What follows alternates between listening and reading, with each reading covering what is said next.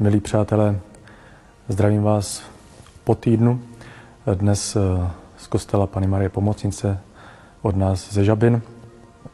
Tak jak sliboval minulý týden Pavel Glogar, rád bychom s váma i tímto způsobem udržovali kontakt a uh, něco málo řekli třeba k nadcházející neděli, která je před námi. I pro nás v komunitě to je takové uh, speciální. Daleko více třeba teďka spolu potkáváme. Společně se modlíme růženec, ke kterému vás také zveme. Máme před sebou čtvrtou neděli postní a v úryvku Evangelia, z Janova Evangelia, z deváté kapitoly, uslyšíme o tom, jak Ježíš uzdravuje slepého. Na začátku se učedníci Ježíše ptají, kdo zřešil, jestli jeho rodiče nebo on, že je od narození slepý. A Ježíš jim říká, nezřešil ani on, ani jeho rodiče, mají se na něm projevit boží skutky. A potom tam budeme číst, že Ježíš ze sliny udělal bláto, pomazal mu oči a poslal ho, aby se šel omít. Potom ten uzdravený slepý prochází, potkává se ze sousedy a ti se optají, jak se to stalo. A on říká, člověk Ježíš mě pomazal oči. Potom ho odvedou k farizeům a ty se ho začínají vyptávat a ten uzdravený slepý říká, prorok Ježíš, to je ten, který mě uzdravil. Zároveň tam probíhá taková diskuze, kdy ten slepý, uzdravený slepý, obhajuje Ježíše nebo to, co se stalo. Skoro by se dalo říct, že tam probíhá taková hádka mezi nima. A dojde k tomu, až že oni ho vyženou. Ježíš se to dozví a vyhledá ho a ptá se ho, věříš syna člověka? A on říká, věřím. Věřím v Pána. Tento příběh, který budeme číst, je pro mě velice mnohovrstevnatý a má mnoho myšlenek. To, co mě tam zaujalo, je to, že ten slepý nebo uzdravený slepý prochází takovým vývojem poznání Ježíše. Od toho, že ho poznává jako člověka, přes proroka, až ho poznává jako pána. A zároveň tam běží vedle toho linka třeba farizeů, kteří si stojí furt za svým a jako ten uzdravený slepý se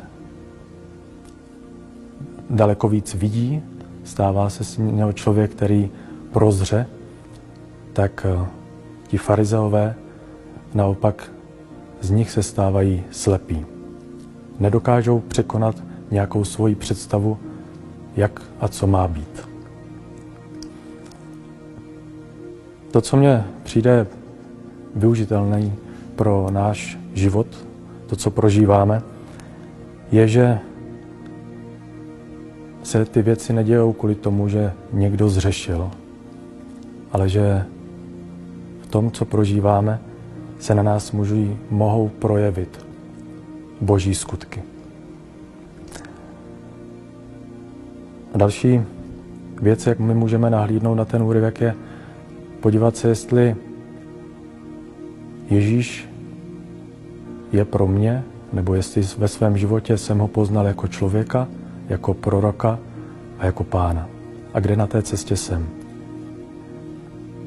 A nebo jestli mám nějakou zaslepenou představu o Pánu Bohu a nedávám mu možnost, aby se v mém životě ty boží, boží skutky projevily. Pravděpodobně přijde mnoho dalších podnětů k tomuto úryvku. Ale říkám si, že je dobré, abychom my s vámi byli aspoň v tomto kontaktu. A něco málo z toho, jak my to vnímáme nebo prožíváme, vám řekli. To, co eh, nabízíme, co přichází, eh, a možná jste to již zaregistrovali, tak eh, je možné se si na Facebooku přečíst každý den ráno slovo z karantény, nebo večer společně s naší komunitou se pomodlit modlitbu růžence a zároveň se přidat k novéně. A v tuto neděli vás také zveme v půl desáté na mši svatou. Zároveň i ve středisku jsme přemýšleli, čím přispět a vznikla iniciativa Středisko v Papučích, kde je mnoho inspirací a podnětů, které je možné využít. Proč to? Protože si myslíme, že je dobré mít nějaké pevné body eh, v tom každodenním životě a postupně tím procházet.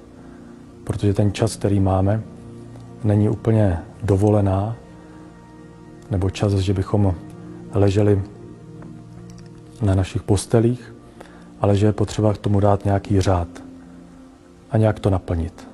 Tak tyto věci jsou určitou nabídkou pro nás všechny, abychom každý den měli na co se těšit, s kým se i třeba na dálku takto potkat. A možná na závěr pár perliček nebo z toho, co prožíváme v naší komunitě. Jak už jsem říkal na začátku, tak eh, je teď větší příležitost být spolu, modlit se, ať už ráno rozjímat, prožívat mši svatou, anebo večer eh, modlitbu ružence. Zároveň také je příležitost prožívat takové ty, ty spontánní chvíle, ať už společného jídla, anebo sledování různých filmů a seriálů, anebo také si třeba uklidit ve svých pokojích. Zároveň eh, včera eh, Jenda Gacík odjel na Orlí hnízdo, aby měl prostor se doléčit, ne eh, z koronaviru, ale z jeho nachlazení. Takže pokud byste ho teďka neviděli při modlitbách růžence, tak je to ten důvod. V tento čas je také daleko větší příležitost využít naší farní biblické soutěže, která dál pokračuje a je možné se do ní zapojit. Na webových stránkách naší farnosti najdete sobotu večer otázku a formulář pro odeslání správné odpovědi. Odpověď naleznete někde ve skutcích apoštolských ve 13. kapitole od prvního verše až do 15. kapitoly. Možnost odpovídat bude až do večera 23. března. Tak vám přeji vše dobré do nadcházející neděle a těším se, že se zase potkáme přes různé možnosti, které nabízíme.